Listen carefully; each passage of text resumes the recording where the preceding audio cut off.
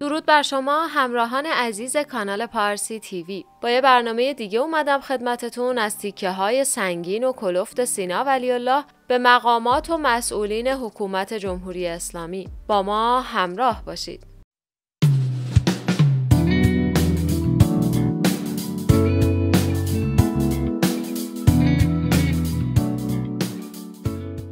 لطفا از پایین همین ویدیو عضو کانال ما بشید و با زدن زنگوله زودتر از ویدیوهای جدیدمون با خبر بشید.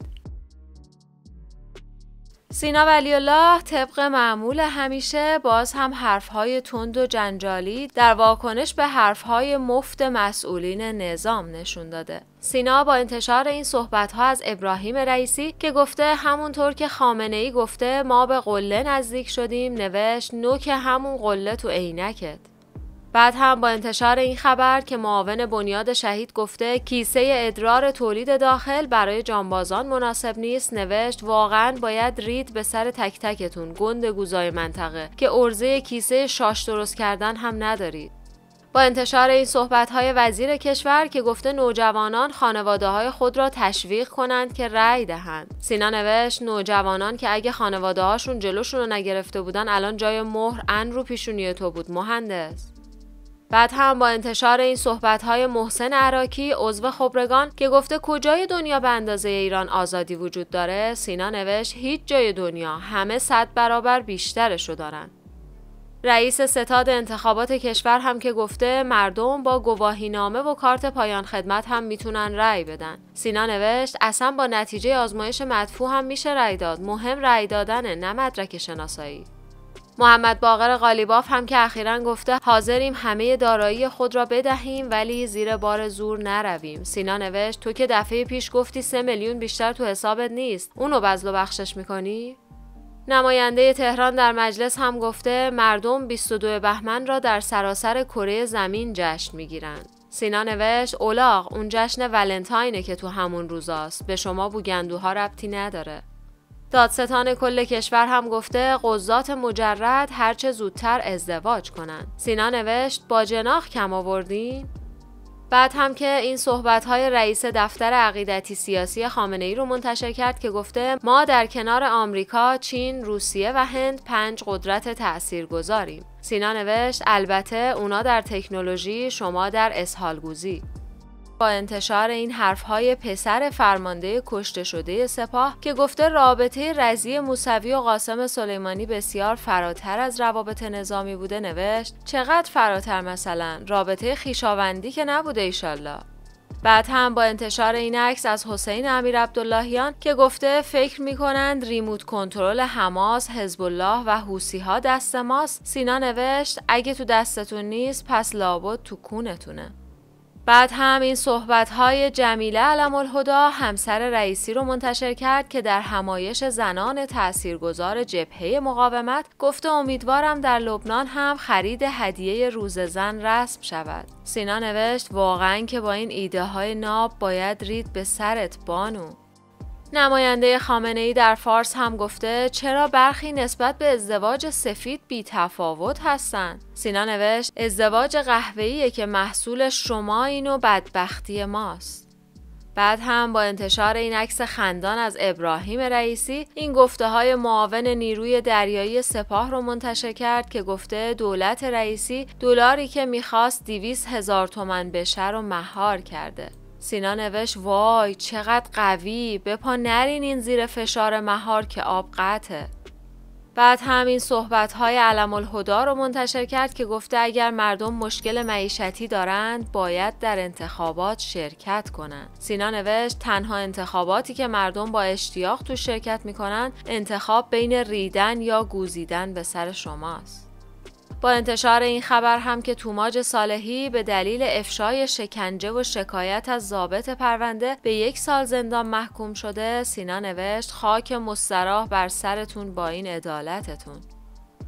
سخنگوی قوه قضاییه هم گفته حکم حمید نوری در هر دادگستری آزادی تبرعه می بود. سینا نوشت دادگستری آزاد فقط مال شما که قاتل و دوست تبرعه میشن و برای شکوندن گاردریل حکم اعدام می‌دید. حقا که باید رید به حلقتون با این همه پر روی.